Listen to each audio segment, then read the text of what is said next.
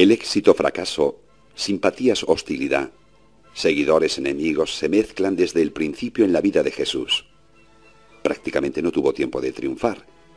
Su muerte violenta fue una consecuencia de su obrar, de su pretendida autoridad que había caracterizado su vivir, su descarada libertad, su nueva imagen de Dios como Azza y defensor de los perdidos, su exigencia de conversión, su crítica profética contra los dueños del poder socio-religioso político.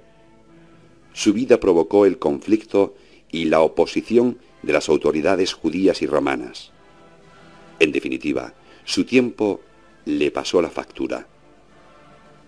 No buscó la muerte, pero ésta le vino impuesta desde fuera.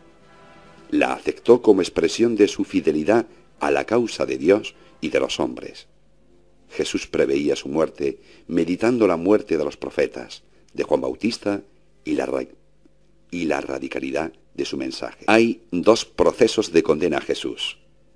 El proceso religioso frente al Sanedrín como blasfemo, embaucador, falso Mesías, falso maestro que cuestiona las raíces de la religión judía, el templo, el sábado, las costumbres, e incluso relativiza la ley de Moisés se le condena en nombre de Dios. El proceso político frente a Poncio Pilatos como rebelde político, enemigo de Roma, incitador a la revuelta.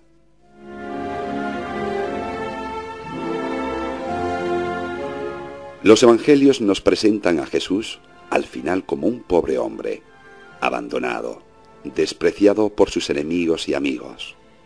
Siente la ausencia y el abandono de Dios, Padre, Abba.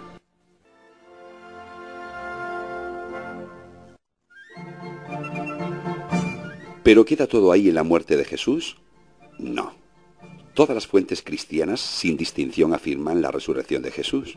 Es más, la resurrección de Jesús es la afirmación cardinal de la fe cristiana. En primera carta de los Corintios se afirma que si Cristo no ha resucitado, entonces nuestra predicación no tiene contenido ni vuestra fe tampoco.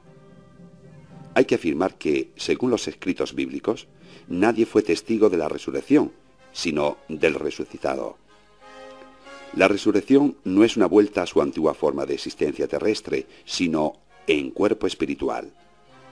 Jesucristo resucitado se aparece desde la gloria, desde la presencia del Padre. Hay una identidad única entre el crucificado resucitado. El resucitado es el mismo que murió, pero se manifiesta de manera distinta.